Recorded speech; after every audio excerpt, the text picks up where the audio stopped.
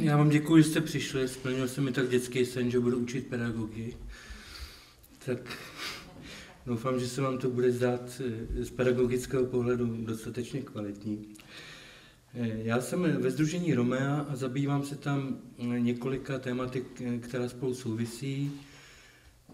Taková moje hlavní náplň je medializace konkrétních případů násilí z nenávisti, to znamená, když je někdo zmlácen, zabit, okraden a tak dále z toho důvodu, například, že má odlišnou barvu pleti nebo u bezdomovce to, to bývá jinak, ale je tam předpoklad té e, nenávisti, která vede k tomu zločinu.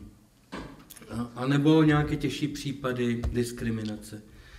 Potom e, důležitou součástí tohoto problému je monitoring extremismu, samozřejmě v mém případě především toho krajně pravicového. A Eh, život lidí v getech, který je součástí eh, té eh, položky diskriminace často. To je další věc, kterou se zabývám a zabývám se také mediální analýzou těchto a zpřízněných jevů. To, co vám dneska budu říkat, budu říkat na základě své zkušenosti. Napřed jsem působil jako po, v listopadu 89, jsem působil jako novinář, Předtím jsem pracoval převážně v dělnických profesích a, a jako novinář jsem začal zabývat lidskými právy a poté jsem přešel do e, e, občanského sektoru, kde se tím zabývám v praxi. Takže e, to, o čem vám budu říkat, je vlastně věc na základě mých pracovních a osobních zkušeností. Snažil jsem se na zadání Institutu Terezínské iniciativy vystupovat, jestli existují nějaké paralely mezi anticiganismem, antisemitismem na jedné straně a, a té nenávistí na straně druhé ve vztahu k situaci před válkou v Německu a u nás a, a situaci současné. E, tohleto téma e, o, není propracované, ale zdá se mi důležité o ní vůbec hovořit, protože e, i když každá padela pokulhává, přece jenom nám může naznačit nějaké nebezpečí nebo e, směr, kterým se nechceme ubírat. Budu to částečně číst, což některé z vás překvapí, překvapil by to asi prezidenta Zemana, který říkal, že kdo čte projev, tak dokazuje, že umí číst, tak to je první důvod, proč ale hlavně mám špatnou paměť, nepamatuju si ty věci a je toho opravdu tolik, co mám na srdci, co mám v hlavě, že, že jsem musel těch devět stránek, které tady mám, to už je vlastně seškrtaná verze, desetiprocentní, asi tak zhruba z toho všeho, co bych k tomu rád řekl.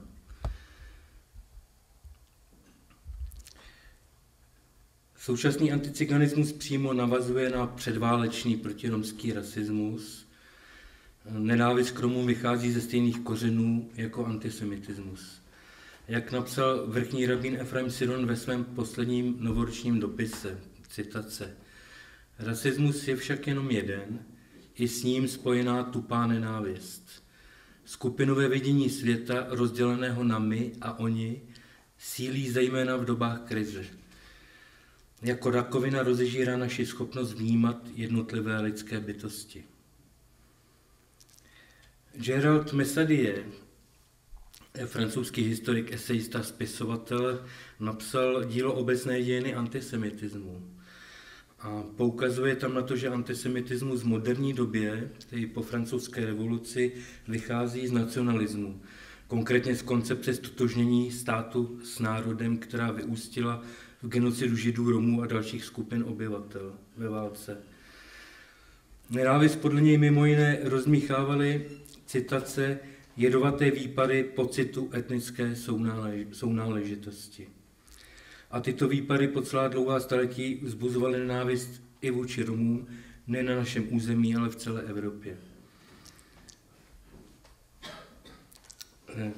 Tato slova jakoby potvrdil Adolf Hitler eh, ve svém díle Mein Kampf, kde napsal, že židé nejsou národem, protože nemají vlastní stát a jsou proto ničiteli ostatních států, na nichž se obohacují za pomoci světového spiknutí. Podobně poukázal i na to, že Romové nemají stát, jsou nepřizpůsobiví a parazitují na, na státu, v něm žijí, stejně jako židé napříč státy. Řešit to chtěl už Mankampfu vyhlazením obou těchto nenárodů. To byl takový úvod, od, od které, který jsem potřeboval napsat, abych se měl od čeho odrazit, abyste viděli, mm, jak, jakým způsobem k tomu přistupu, k té problematice. Vidíte asi tak heslovitý souhrn paralel, které jsem na základě vlastní zkušenosti spatřil nebo spatřuji mezi tou předválečnou dobou v Německu a u nás a dobou současnou. Teď bych chtěl tyhle ty body probrat, probrat trošku blíž.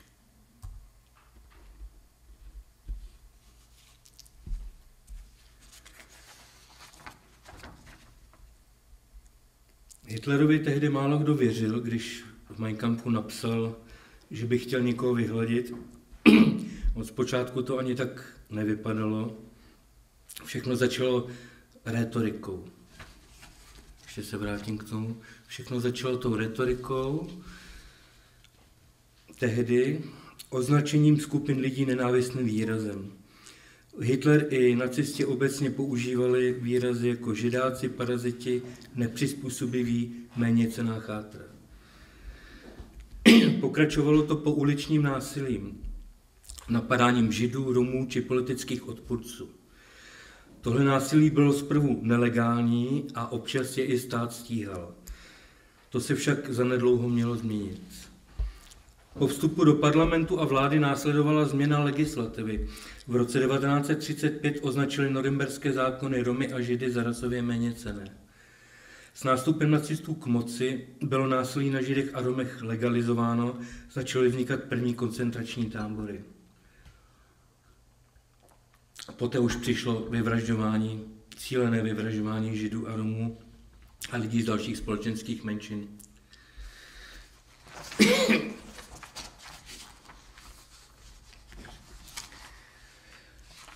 A co je důležité i ve vztahu k dnešku, způsoby řešení eh, byly násilné, buď to vyhlazení nebo vystěhování. Jak, jak eh, dobře víte, tak Heidrich mluvil o tom, že český národ by se měl vystěhovat na Sibiř a některé vybrané české děti by se měly umístit na převýchovu do německých rodin.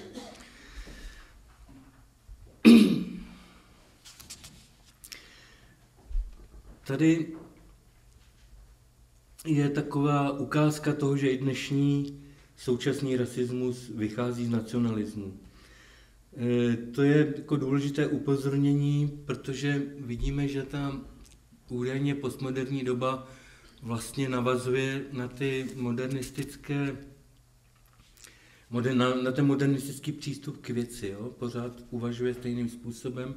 Můžeme se dohadovat, jestli jde o dozvuky, anebo jestli jde o pouhé pokračování téhož. Tohle to jsou ukázky ze dvou textů jedné skupiny, která se jmenuje Ragnarek a kterou má v oblibě jeden z vítkovských žhářů. To je mm, ta skupina těch čtyř hářů, kteří hodili zápalné láhve do bytu romské rodiny ve Vítkově.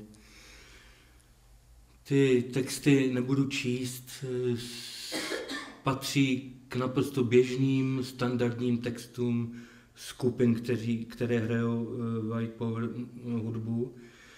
Jiné kapely mají texty, které jsou ještě krvelečnější, vyzývají k ještě většímu násilí. První text je o cigánech, druhý je obecně rasistický i antisemický.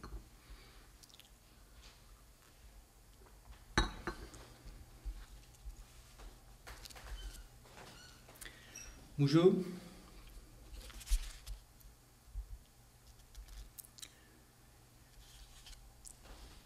Tady ta, tu paralelu, to hledání těch paralel mi usnadnila dělnická strana, která v době svého vzniku a do doby, než byla nejvyšším správním soudem zrušena, sama sebe připodobňovala k NSDAP a nejenom dělnická strana, ale i další neonacistické iniciativy, jako je třeba Národní odpor, to je taková hodně militantní iniciativa celostátní, která je složena především z takových těch neonacistických pouličních bejců.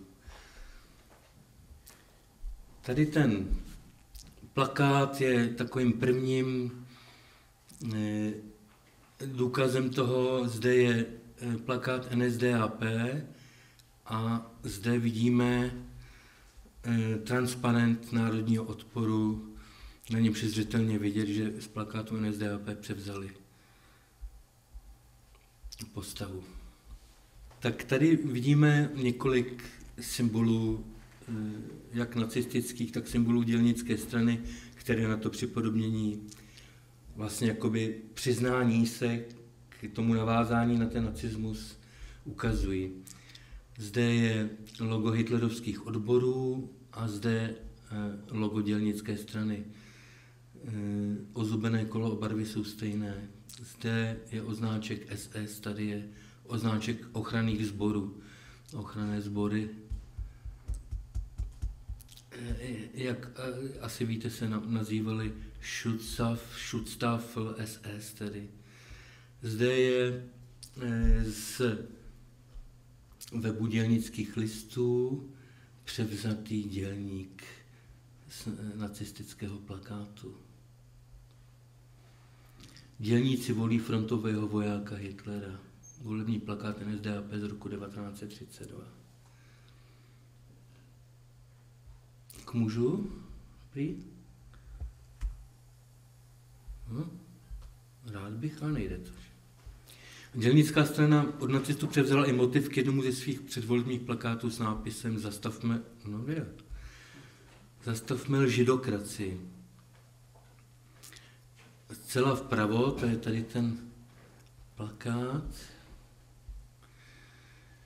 Eh, dělnické listy převzali tento plakát z, z nacistického Der Stürmlu, jde o karikaturu Filipa Ruprechta. No tak tady se dějou fakt jako věci. Hmm.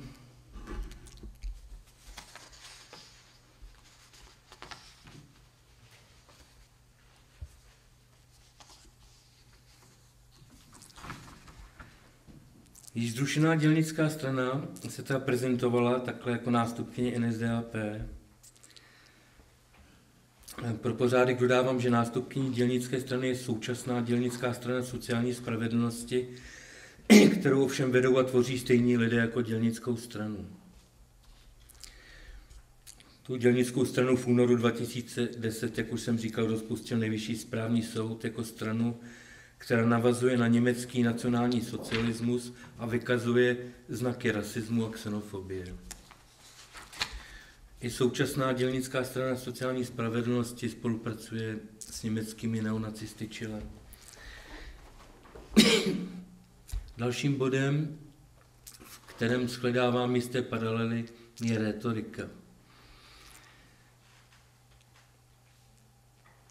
Napřed bych vám přečet ukázku jako vystřiženou z časopisů českých předválečných fašistů Vlajka,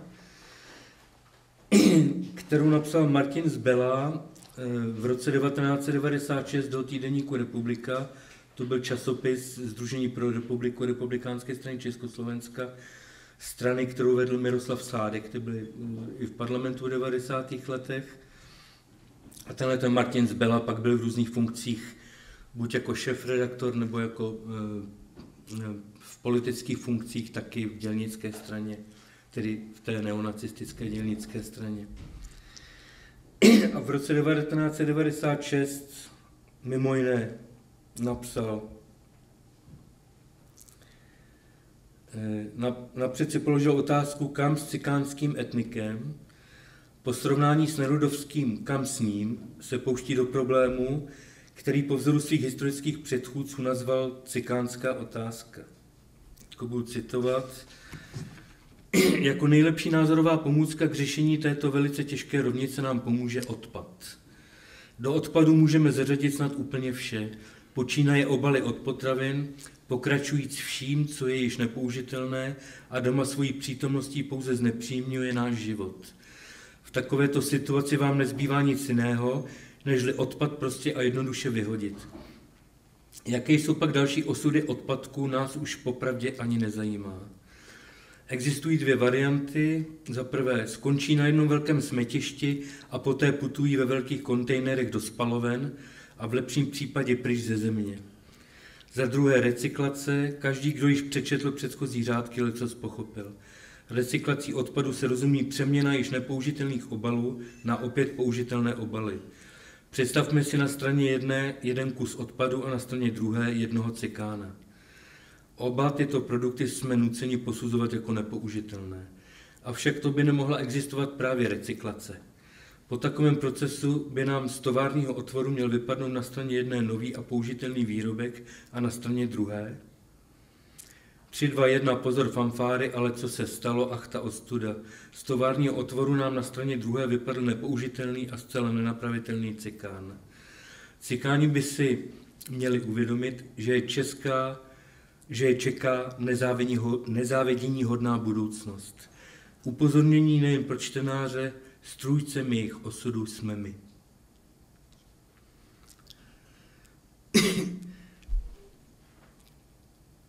Ten příklad z vlajky jsem vám tomu nepřidal, protože zaprvé bych to měl strašně dlouhé a za druhé jsou to jako docela notoricky známé výroky. Opakovali se mimo jiné třeba i v týdenníku politika, který tady vycházel v 90. letech. Nešlo jen o seznamy židů ve veřejném životě, ale i o výzvy k násilí na židech a na domech. Připravil jsem taky několik ukázek z úředních dokumentů, které ilustrují postupný proces likvidace Rumů na našem území. Jak jste si asi všimli, tak eh, ta první ukázka je z 1. prosince 38 a 5. února 39, tedy v době, kdy nacisté obsadili Sudety, nikoliv ještě celé území Československa. A tedy již za takzvané druhé republiky eh, bylo vidět, že ve státních strukturách jsou lidé, kteří mm, volí stejný způsob řešení, jako navrhl Adolf Hitler, jako nacisté eh, v Německu ve 30. letech a potom za války v nadobitých územích praktikovali.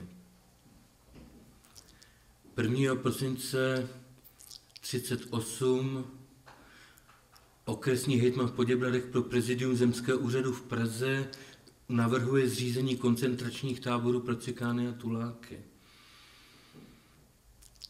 5. února e, vlastně e, začíná v úřední, e, v úřední dokumentaci nabývat ten emoční přístup k věci v podobě výrazů, které používali nacisté jako první, jako jsou paraziti nepřizpůsobiví. To jsou ukázky z, z uh, úředních dokumentů již uh, z dob protektorátu Čechy a Morava.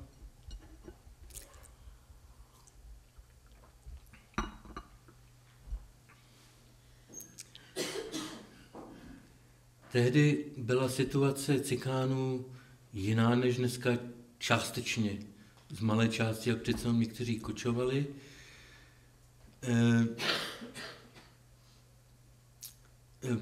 ty problémy, které jsou s Romy dnes, eh, byly jistě i tehdy, ale již tehdy se ty problémy nafukovaly a ta rétorika odpovídala spíš nenávisti než nějakému eh, běžnému posouzení věcí.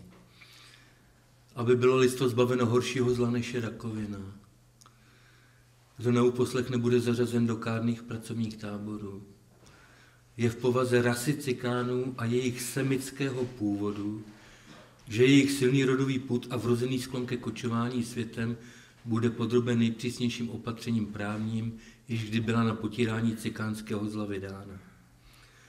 Tady vidíte, že i bez ohledu na fakta, tak jako dnes, eh, se, se k tomu přistupovalo. Cikáni byli semického původu, protože prostě ta nenávist k židům eh, byla vlezlá pod kůži a, a ten, kdo to psal, policejního ředitelství v Brně, potřeboval tu svoji, ten svůj přístup k věci nějak zdůraznit. Tak Cikány zařadil eh, k židům jako, jako k semickému původu. Tady jsou další příklady. Byl nařízen soupis cikánů, cikánských myšlenců, osob potulujících se po způsobu cikánském. To byla příprava na e, pracovní a koncentrační tábory v letech u Písku a v Hodoníně Kunštátu, kam posléze byly domové svážení. E, druhý příklad je, když byli odváženi z těchto táborů do Osvětimi.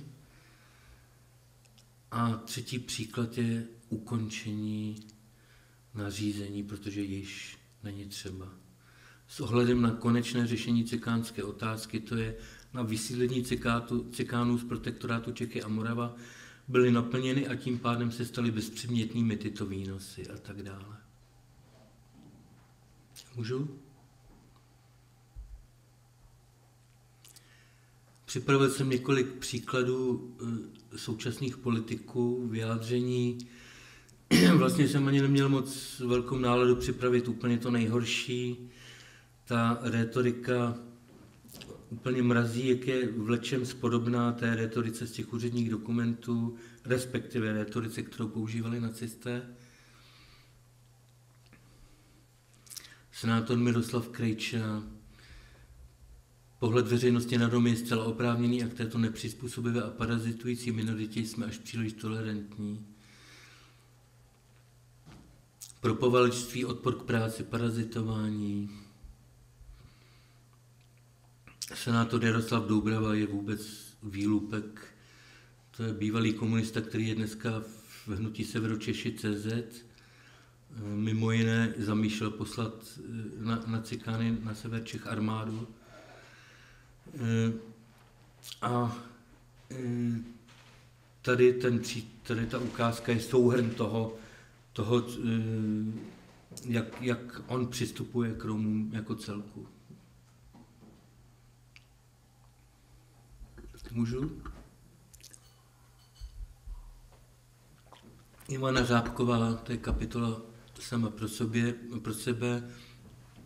Tady jsem vybral příklad toho, jak, jakým způsobem ona uvažuje. Ona říká, že v Chumutově chceme klid, proto již nebudeme povolovat žádné podobné demonstrace, ať ze strany Romů nebo levicových či pravicových extremistů.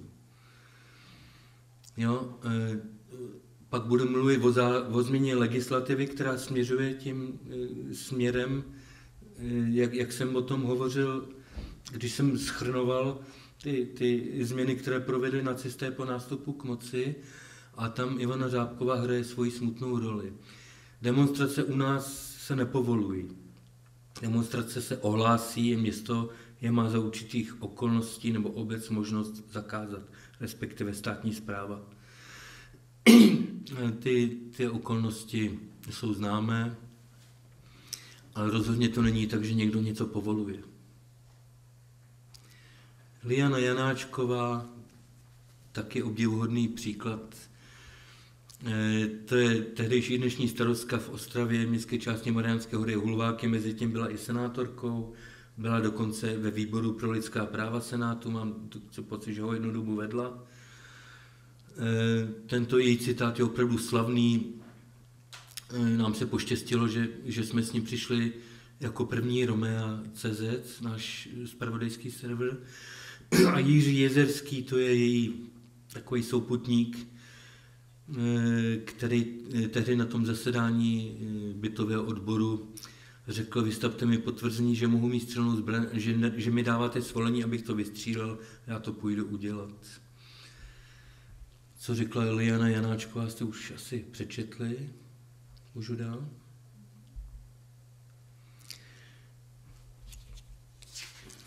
Další takovou paralelu vidím v tom pouličním násilí, tak jak, ne, tak jak nacisté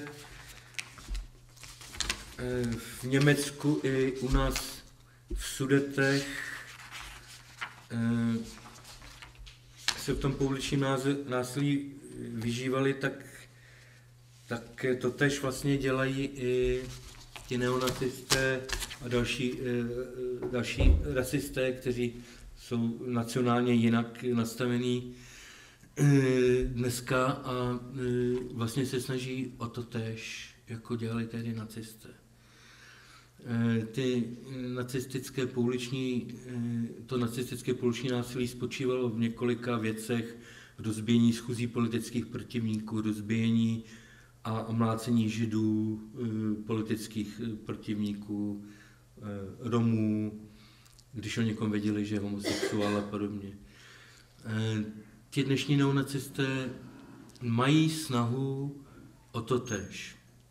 Stát tomu zatím dokázal zabránit, co se týká té, toho skupinového pouličního násilí. Samozřejmě tomu nemohl zabránit v případě toho násilí individuálního. U nás Pravděpodobně o tom víte, nebo většina z vás v 90. letech došlo ke 20 rasistickým vraždám. Eh, v následujícím desetiletí k desítkám násilných útoků na Romy, včetně útoků žářských. K těm 20, eh, mluvím o 20 rasistických vraždách, ovšem eh, ty orgány činné v trestním řízení to zpočátku neuznávaly jako vraždy, dokonce ani ne jako závažné trestné činy, Některé věci jako nahnání jednoho Roma eh, do řeky a jeho nevpuštění na břeh s tím, že ten člověk se utopil ze začátku, potrestali podmíněným trestem, že, že vlastně o nic vážného nešlo. Teprve po e, nějakém společenském tlaku po několika letech ti lidé byli odsouzeni za e, smrt, za těžké ublížení na zdraví s následkem smrti, myslím, tak nějak Nevím teď přesně z hlavy. Stoupá počet romských pochodů.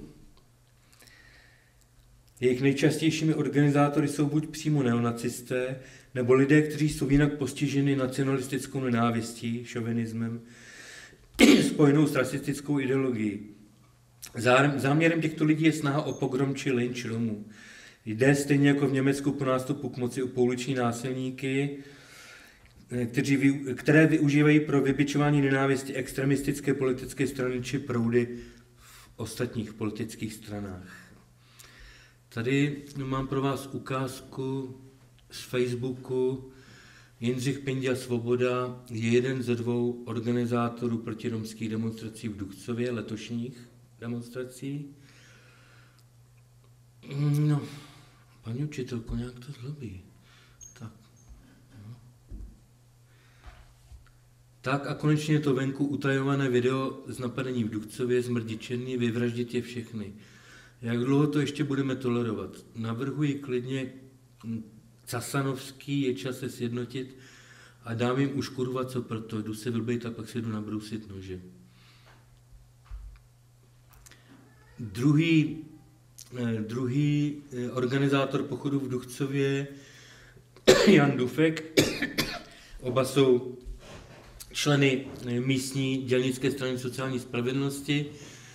Na upozornění, to upozornění přišlo na jedné diskusi, na upozornění, že další protiromské pochody vše ještě zhorší, řekl na adresu Romů, to je dobře, konečně ty lidi alespoň povstanou a vyvraždí je všechny. Tohle je samozřejmě jenom ukázka toho, jaký lidé tyto hm, protiromské akce pořádají. E, to, že jde o pouliční násilníky, jsme mohli vidět už v roce 2008 v Janově, kde bojovali s policií kamenama, zápalnýma lahvema, dýmovnicema, e, převraceli popelnice. To tež se dělo ještě několikrát.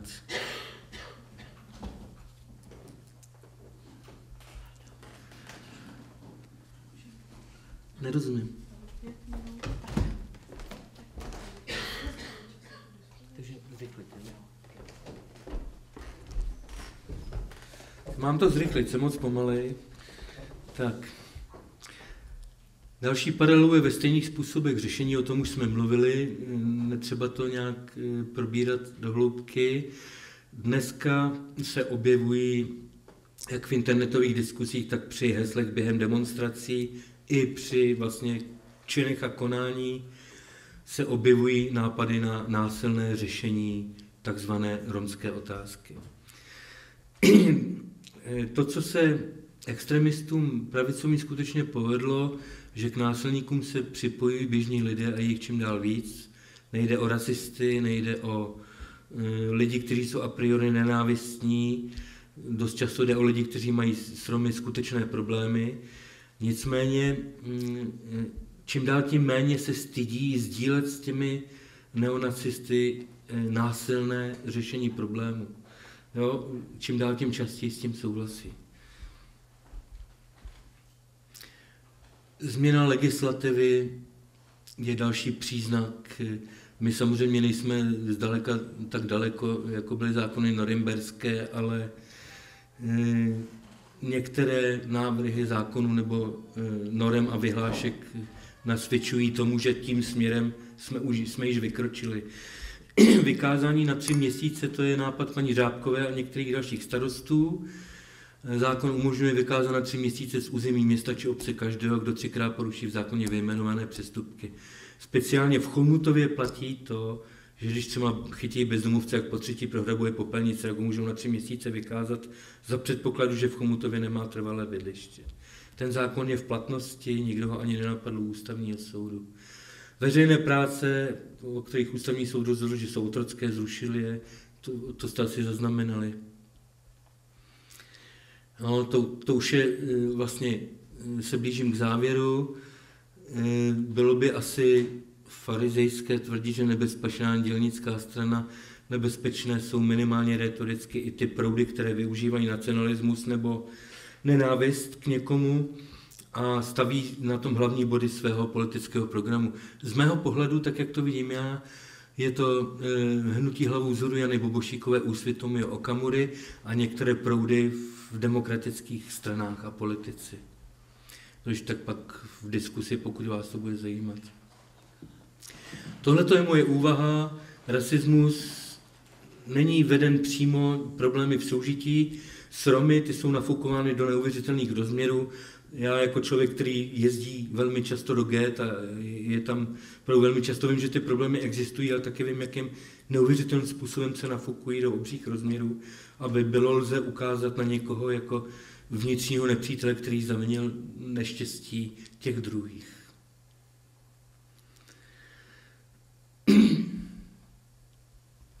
O příčinách, tedy potom, proč se Romové chovají tak, jak se chovají, se neptá nikdo. A já jsem přesvědčen o tom, že jedině, když zjistíme příčiny toho, proč se tak chovají, budeme schopni nějaké nápravy. Eh, soužití. Tou nápravou soužití nemám na mysli jenom změnu chování Romů, ale i náš přístup k ním, protože integrace je vždycky dvoustraná nebo oboustraná záležitost. Nemůžeme eh, někoho integrovat s tím, že ho vlastně stejně nechceme integrovat. Jo, takže je to vždycky oboustraná záležitost. A jsem přesvědčen, že kdyby dnešní rasisté neměli Romy, takže dneska by se na těch demonstracích křičelo proti židům nebo migrantům se stejnou razancí silou. Takže děkuji vám za trpělivost. Tak, taky děkujeme za, za vstupní eh, že se, že se tedy kde co schazuje na cikány. No, eh, já nevím, jestli lze mluvit o společnosti jako celku. Jo, my používáme takový ten výraz většinová společnost, ale to je vlastně výraz, který opisuje něco, co neexistuje, že? No, ale hmm. to tak ano, ve společnosti je takový silný proud, který eh, jednak eh, vlastně jakoby to vede tímto směrem. Jo? Rozesílají se ty, eh, ty, ty hoaxy, jo? ty výmysly, lži, dezinformace, polopravdy těmi e-maily přes, přes internetové sociální sítě a podobně. A to, to jsou lidé, kteří vlastně chtějí tu nenávist buď vybudit, a, anebo nastartovat. A pak jsou lidé, kteří to přijímají a, a z různých důvodů, buď tu nenávist v sobě nějakým způsobem cítí, anebo jsou jako ti běžní lidé, kteří se účastní těch demonstrací, frustrovaní a hledají někoho, na, na, na koho by, na kom by si mohli vybít ten svůj vztek a, a, a nebo na koho by mohli hodit svoji vlastní vinu podle toho, o jaký případ jde. Jo, a ten, tenhle ten prout se slívá v jeden a, a, je, a sílí, nabývá na síle. Jo, a ta nestabilní politická, politická situace tomu docela nahrává, protože ti politici nahoře e, nejenom před volbama, ale před volbama obzvlášť nechtějí popudit voliče, tak, tak vlastně k těm nenávistným projevům mlčí. Já nevím, jestli jsem odpověděl na vaši otázku. No, prostě.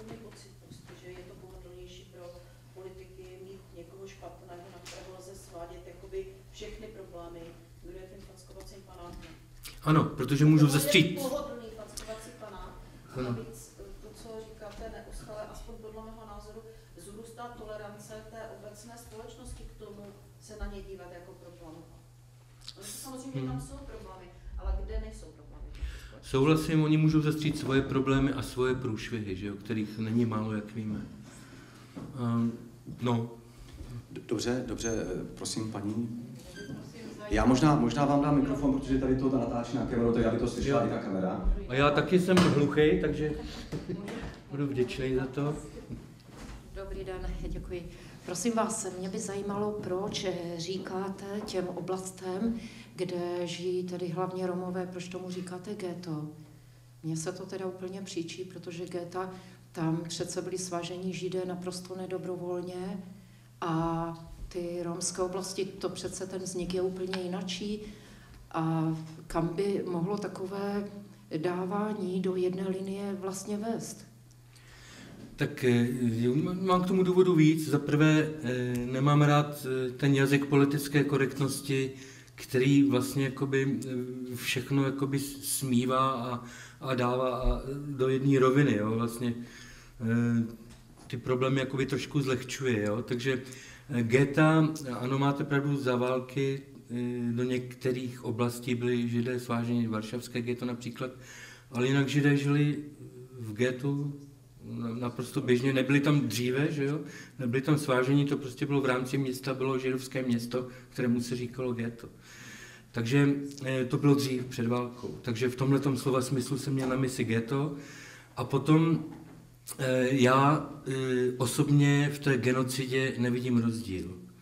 Genocidě Židů a Romů pro mě zabití člověka je zabití člověka bez ohledu na jeho etnický nebo náboženský původ nebo zaměření.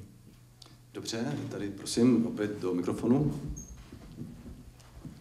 Já jsem se chtěl zeptat, eh, jakou může hrát eh, roli vlastně legislativa Evropské unie v rámci zabránění přijetí u nás takových těch jako protiromských zákonů nebo zákonů odporujících lidským právům. Jo? Jestli je tam nějaký mechanismus, který to sleduje, protože konec konců i ty zákony, co se tam ukazoval, tak snad ani nejsou nějak v souladu s lidskými právy. A jestli je tady nějaký mechanismus, víc třeba Maďarsko, jo? protože v Maďarsku tam je to teda ještě výrazně horší než u nás, jestli je na to ta Unie nějak připravená jako celek.